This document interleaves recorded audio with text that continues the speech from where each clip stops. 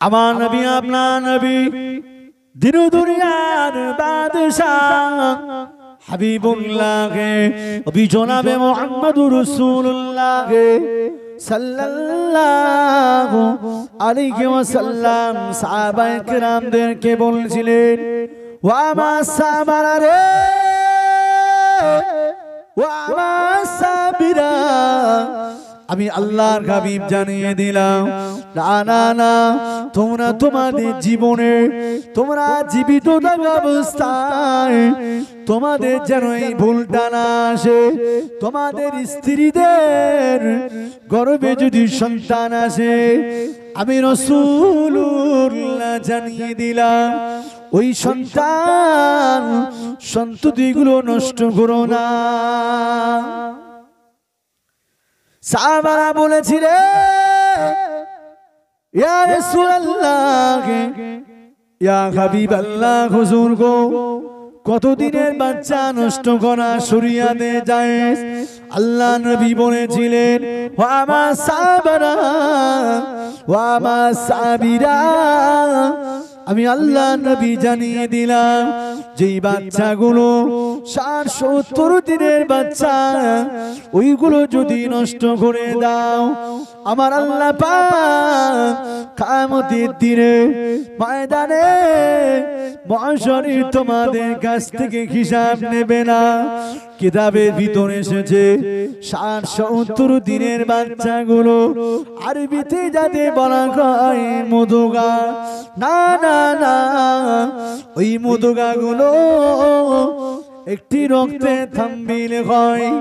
আল্লাহর হাবিব বলেছিলেন, যদি নষ্ট করে দাও কামতে দিন হাসুরের ময়দানে আল্লাহ পাকের কাছে তোমাদের জবাব দিতে হবে না। সাবি হুজুনা বললেন, ইয়া রাসূলুল্লাহ ইয়া হাবিবাল্লাহ কত দিনের বাচ্চা নষ্ট করলে পাপ হবে? আল্লাহ নবী জানিয়ে দিলেন, ওয়ামা সাবারা, ওয়ামা সাবিরা।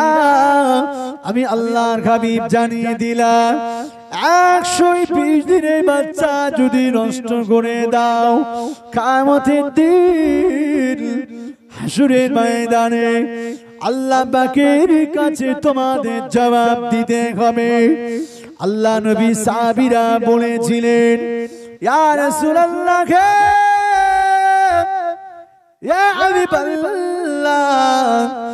একশো বিশ দিনের বাচ্চা কেন নষ্ট করলে? হত্যা সমান অপরাধী হবে। আল্লাহর খাবি বলেছিলেন ও আমার সাবারা শুনে রেখে দাও। আমি রসুল্লাহ জানিয়ে দিলাম একশো বিশ দিনের বাচ্চাটা মায়ের গর্বের ভিতরে। একশোই বিশ দিনের বাচ্চাটার আমার আল্লাহ আলাকায় আকৃতি করে দেয়। হাত হয়ে গেল, পা হয়ে গেল, মুখ হয়ে গেল, চোখ হয়ে গেল, নাক হয়ে গেল ওই বাচ্চাটা যদি নষ্ট করে দাও কামতের দিন ওই নষ্ট করা বাচ্চাটা আল্লাহ পাকে সম্মুখে গিয়ে তোমাদের বিরুদ্ধে মামলা দায়ের করবে। ও আমার ভাইজানেরা, সোনা মানিকেরা, নবী আমার দিরু দুনিয়ার বাদশা হাবিবুল্লাহ নবী জনাবে মুহাম্মদুর রাসূলুল্লাহ সাল্লাল্লাহু আলাইহি ওয়াসাল্লাম সাহাবায়ে আল্লাহ পাক ওই সমস্ত বাচ্চাদেরকে মায়ের গর্ভের ভিতরে আলাকায় আকৃতি দিয়ে একটা বাচ্চা গেল্লা সৃষ্টি করেন। ওই বাচ্চার অন্তরের মধ্যে একটা আশা আছে, দুনিয়াতে এসে মা বাপের খিদমত করবে।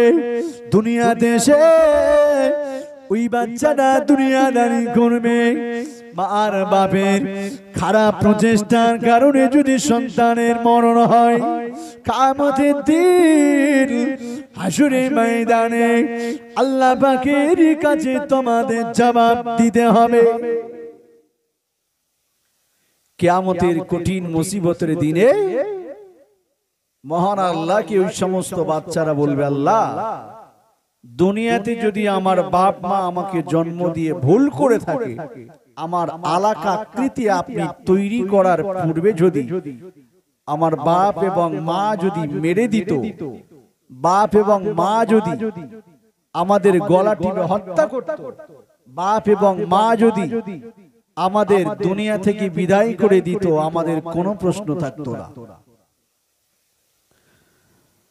আল্লাহ হাবিব বলেছিলেন ও আমার সাহাবারা ও আমার সাহাবীরা আমি আল্লাহর হাবিব জানিয়ে দিলাম, কামতে কোটি মুসিবতের দিনে হাসরে ময়দানে, ওই সমস্ত বাচ্চারা আল্লাহ পাকের কাছে, আল্লাহ পাকের কাছে বাপ মায়ের বিরুদ্ধে অংশগ্রহণ করবেন আমার আল্লাহ পাক ফেরেশতাদের ডেকে বলবেন ও আমার মালাইকা ফেরেশতারা এই বান্দাকে নিয়ে জাহান্নামের মধ্যে প্রবেশ করিয়ে দাও। আল্লাহ নবী সাহাবীরা আল্লাহ নবীকে ডেকে বলেছিলেন ইয়া রাসূলুল্লাহ গে ইয়া হাবিবাল্লাহ বেআদবি ক্ষমা করুন, বেআদবি মাফ করুন। কোন সন্তানকে যদি তার পিতা মাতা, কোন সন্তানকে, কোন পিতা মাতা যদি কোনো কারণ বশত বড়ি খাইয়ে ইঞ্জেকশন দ্বারায় ওই বাচ্চাটাকে মেরে দেয়, কোনো কারণ বশত যদি বাচ্চাকে হত্যা করা হয়, কামতের দিন হাসুরে ময়দানে আল্লাহ পাকের কাছে কি জবাব দিতে হবে? আল্লাহর হাবিব বলেছিলেন ও আমার সাহাবারা শুনে রেখে দাও। আমি রসুল্লাহ জানিয়ে দিলাম যদি কোনো মা বাপ মনে করেন সন্তানটা মায়ের পেটে আছে। ডক্টর জানিয়ে দিল বাচ্চা যদি নষ্ট না করো এই রোগীটা সমস্যার সম্মুখীন হবে। বাচ্চা যদি নষ্ট না করো, এই রোগীটা ধীরে ধীরে অসুস্থ হয়ে যাবে। বাচ্চাটা পুষ্টি হবে না, ফলে বাচ্চারও ক্ষতি হবে। মা গর্ভধারিণী মায়ের ক্ষতি হবে। আল্লাহর হাবিব জানিয়ে দিলেন আমার সাহাবারা শুনে রেখে দাও। আমি রসুল্লাহ জানিয়ে দিলাম। আমি আল্লাহর হাবিব বলে দিলাম, তোমরা যদি তখন ওই বাচ্চাটার যদি নষ্ট করে দাও কামতের দিন হাসুরে ময়দানে কৈফাত দিতে হবে না। বিশ্বনবী বলেছেন, যদি সংক্ষেপ থাকে মায়ের ক্ষতি হতে পারে পরবর্তীকালে সন্তানের ক্ষতি হতে পারে। আল্লাহর হাবিব বলেছেন তখন যদি বাচ্চাটাকে নষ্ট করা হয় কিয়ামতের দিন হত্যার পাপটা দায়ভার নিতে হবে না। ও আমার ভাই জানে না সোনা মানিকেরা আজকে সমাজে দেখুন, মহিলারা যেমন, পুরুষেরা তেমন, পুরুষেরা যেমন, মহিলারা তেমন। সন্তান যখন ছয় মাস হয়ে গেল, পাঁচ মাস হয়ে গেল। বোঝার পরে ছেলের গার্জেন এবং মেয়ের গার্জেন উভয় পক্ষ মিলে আলোচনা করে বাচ্চা নষ্ট করে দেয়। ও আমার ভাই জানে না সোনা মানিকেরা হাদিস শরীফের মধ্যে এসেছে, যারা ব্যক্তিগত হিসাবে কোনো কারণ বশত সন্তান নষ্ট করে, কামতের দিন হিসাব দিতে দিতে কলিজায় পানি উঠে যাবে, তথাপিও হিসাব শেষ করা যাবে না। আল্লাহ নবী বলে দিয়েছিলেন ও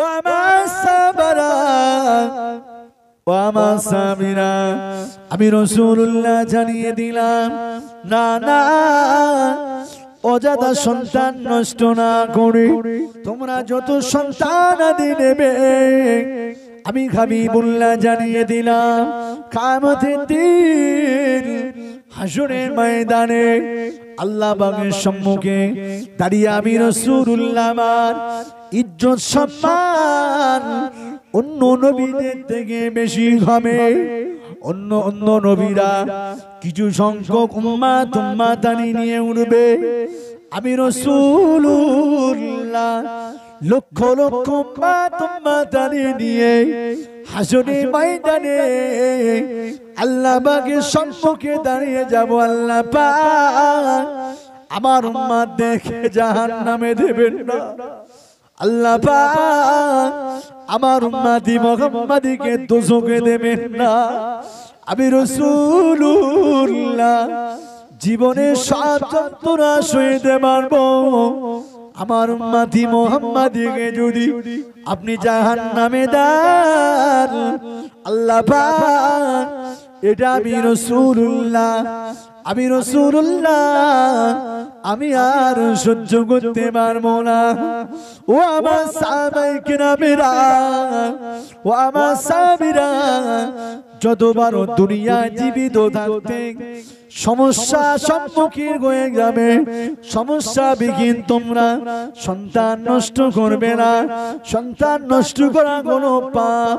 শুধু পাপ তা নয়, আল্লাহর গাবি বললেন, একটা সুস্থ মানুষ, একটা সবল মানুষ, একটা ভালো মানুষ, একটা নির্দোষ মানুষকে প্রাণে মানলে যে গোনা হবে, কামতের দিন, হাসুরের ময়দানে একশো দিনের বাচ্চা নষ্ট করলে আল্লাহ পাকের কাছে ওই গত্তার হিসাব দিতে হবে। আল্লাহ নবী সাহাবীরা বলেছিলেন, ইয়া রাসূলুল্লাহ, ইয়া হাবিবাল্লাহ বেয়াদবি মাফ করুন বেয়াদবি ক্ষমা করুন। জোর আমরা চেষ্টা করব যাতে আপনার উম্মা তুম্মা দানি কামতের দিন হাসুরে ময়দানে আপনার ইজ্জত সম্মানটা যাতে বেড়ে যায়। আমরা সাবা সেই প্রচেষ্টা করে যাব। বলুন সুবহানাল্লাহ।